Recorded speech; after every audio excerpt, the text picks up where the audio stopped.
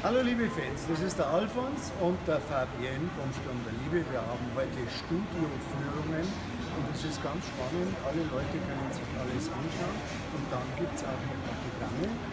Fotos und natürlich auch äh, die, die Kleidung kaufen. Man kann die Kleidung kaufen Genau. Requisiten kaufen und und und. Also lasst euch sowas möglichst im nächsten Jahr nicht entgehen. Kommt